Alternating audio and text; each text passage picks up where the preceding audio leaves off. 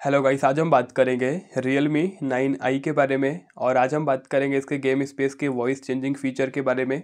काफ़ी डिमांड में चल रहा है ये टॉपिक कि काफ़ी लोग कमेंट्स करते काफ़ी लोग बोलते कि क्या रियल मी नाइन आई में गेम स्पेस में वॉइस को चेंज किया जा सकता है? तो इस टॉपिक के ऊपर आज हम बात करेंगे एंड पूरे डाउट आप लोग के यहाँ पर क्लियर हो जाएँगे ओके सो वीडियो स्टार्ट करते हैं, उससे पहले आप लोग हमारे यूट्यूब चैनल को सब्सक्राइब कर लीजिएगा बेल का आइकन को प्रेस कर लेना ओके तो यहाँ पे हम गेम स्पेस को ही डायरेक्ट ओपन कर लेते हैं, ठीक है ना?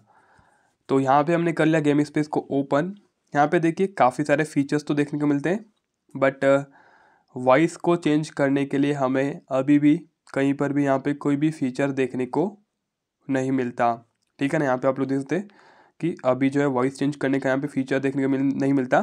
बेसिकली इंडिया के जो दूसरी कंट्री वाले फ़ोन है ना उनमें आप लोगों को शायद से वॉइस चेंजिंग का फीचर देखने को मिल रहा है गेम स्पेस में बट अभी इंडिया के फ़ोन में ये फीचर अवेलेबल नहीं है।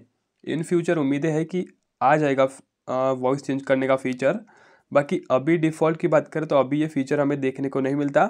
हाँ डिफ़ॉल्ट में हम चेंज नहीं कर सकते वॉइस को बट अगर आप लोग कस्टम तरीके से वॉइस को चेंज करना चाहते तो आप लोग कस्टम तरीके से वॉइस को चेंज कर सकते हैं। इस टॉपिक के ऊपर यूट्यूब या फिर इंटरनेट पे आप लोग काफ़ी सारा कंटेंट अवेलेबल मिल जाएगा।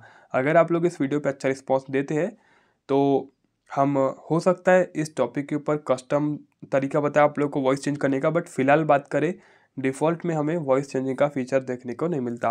मिलते हैं नेक्स्ट वीडियो में। जय माता दी।